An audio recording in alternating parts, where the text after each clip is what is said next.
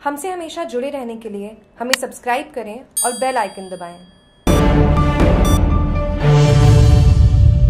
Four line highway पर अज्ञात वाहनों की टक्कर से गोवंश के हो रहे हादसों से गो भक्त दुखी हैं। टोल नाके केंद्र के अधीन कब मिलेगी पशु एंबुलेंस? तड़पती हुई गोमाता को पशु एंबुलेंस का इंतज़ार है। उद्यमन टोल नाके के नज़दीक सवेरे गाय खाई में गिरी हुई थी। पास खड़े नंदी को देख गो भक्तों ने जाकर देखा तो घायल अवस्था में गोमाता तड़प रही थी। विभिन्न जगहों पर चोटें आई हुई थी। इन्होंने तत्काल प्रभाव से सूचना ओम श्री गजानन सेवा समिति अध्यक्ष मंगल कुमार मीणा को दी। वही पशु एंबुलेंस के अभाव में निजी वाहन से कार्यकर्ता ने एकत्रित होकर घटना स्थल पर कड़ी मशक्कत के बाद गोवंश को सुरक्षित बाहर निकाला। गाय के हालात गंभीर बनते देख इलाज के लिए पीपल फॉर एनिमल सिरोही गौशाला रवाना किया। वहाँ पहुंचकर उसको चरण देते हुए उपचार शुरू करवाया। इस दौरान गोभक्त भरत वैष्णव, नटवरलाल रावल, हिमांशु गहलोत, प्रभु राम मीणा, विक्रम मीणा, छगन रावल, जितेंद्र मीणा समेत अन्य गोभक्त ने सेवा दी। मंडल अध्यक्ष ने पशु एंबुलेंस की मांग को लेकर मीडिया के माध्यम से पूर्व मुख्यमंत्री से गुहार लगाई। उन्होंने बताया, हर रोज पशु दुर्घटना में अपने प्राण त्याग रहे हैं। टोल नाके केंद्र सरकार के अधीन है। इस मांग को आगे तक रखा जाए ताकि राजस्थान के प्रत्येक टोल नाके पर पशु एंबुलेंस की सुविधा मिल सके। घायलों को समय पर